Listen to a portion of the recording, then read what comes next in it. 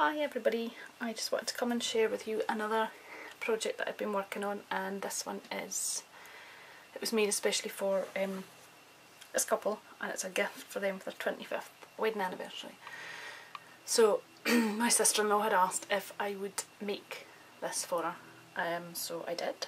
So what I started with was, it's a square canvas, I can't remember exact, it's roughly 8 by 8 inches in size and I sprayed it, well I took some um, vintage photo and some walnut stain and I edged around the canvas just to colour it a little bit.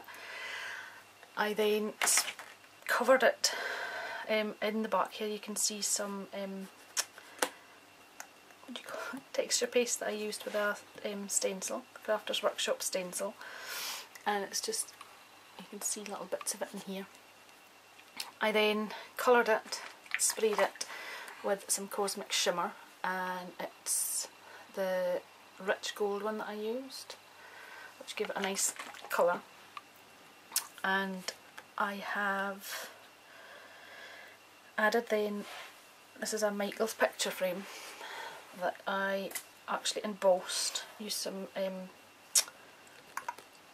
the Versamark and put some silver embossing powder just on the edges of it just to have it stand out a bit. Sorry about the glare on the photo, I'm trying not to have it showing but the window's just up there so you can't help it.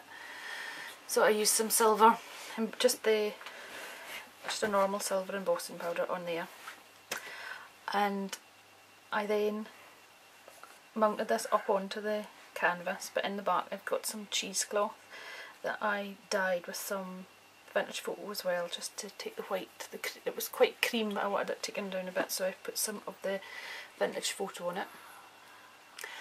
Um, what else have I got on here? I then took one of the doily flowers that Trisha sent me so thank you Trisha. And I put this down in the bottom here and just made a cluster of flowers around it. And again these are from Trisha and this one is from Trisha as well I think. And then I had an order for Wild Orchid Crafts. I've got some of the curly roses some of the lilies I think it is that's in here and some tiny little 10ml rosebuds that's in the bottom of it. So that's it in there. Just to show you what that's like. And I also have in here this is one of the love there's a acrylic love heart that Trisha sent in her my um, giveaway prize as well so I've popped that in there too. And also down the bottom here there's this lovely kind of satin um, it's like a baby's breath one but it's like a satin one with voile and everything so I popped that in there as well. So coming out from that sorry um, I have got a Cheery die that I die cut out in white card and then I colour misted that with some antique green of the um, vintage mists, the Cosmic Shimmer. So I sprayed it with that just to give the green colour. The colour choice that I was given was orange, green or brown. So this has kind of got all the colour tones in it that was asked for. Um, I, with some of the flowers I didn't cut off the stems, I made curly cues with them so they're just popping out from there as well. So Cheery Lynn die is up here, down there, and I cut one off and put it coming out from the picture frame on the top here. Um, the 25th is from the Tim Holtz grunge board or paper or whatever it is. And so is these little hinges that I put top and bottom here, did them in silver. And just touched them up with a bit of um, gesso when I was finished. I also have, you can hardly see them in the back here now but I did have these silver skeleton leaves, I'm not sure what I've done with them now. But Sandy sent me those. So thank you for those Sandy. So I used up the silver ones out of this pack and I popped one up in here behind the picture frame and a couple down here and there is a couple in the flower cluster in the bottom but you can hardly see them now so they're kind of outside. Um, again I added this little cherub and I just sort of covered it in some vintage photo as well to take the white way off and just let it tone in with everything. I got this from Sandy as well and I was so delighted with these because I just love these resin cherubs and this one's gorgeous so it fitted to find in the bottom here the picture frame. Again I've got some little um, 10mm roses in here and I left the curly cues, well, left the stems on and made curly cues with them. Here I've got some acrylic beads on wires, which I also got from Trisha, so thank you for those Trisha. Um, up in here I'm still seeing glue strands.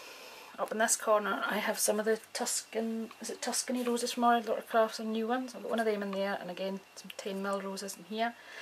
And these have just been touched up with some vintage photo on the edges of them too.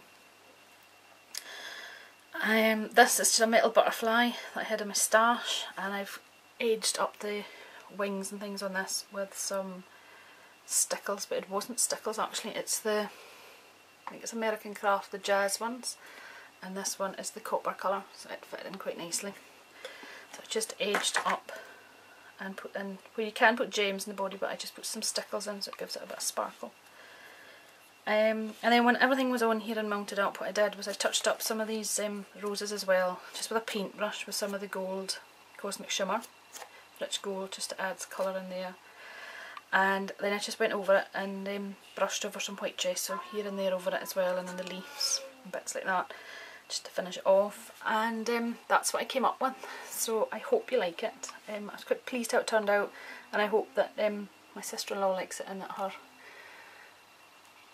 the one that she's gifting it to likes it as well. So I will give you a closer look at it up and there. Sorry for the glare, I'm trying to keep the glare off but it's just the actual plastic cover that's on the picture frame that does that. And you can see the stickle, the stickles jazz stuff that's on that butterfly there, it captures it and glistens and I love this Cheery Lynn die because it's so delicate and I just love the effect it gives on a lot of projects. You can see a bit of the gesso, just white gesso just to tone it all down a bit. And I really really like this Michael's picture frame. So pretty. And you can see the skeleton leaves and the cheesecloth there in the background as well so that is my project I've been working on and like I say this one's sold so that's something else and I will be back soon because I have some more exciting news to share with you that um, I can't wait to get started on so I hope you like it and uh, I'll be back again soon. Thanks for watching. Bye.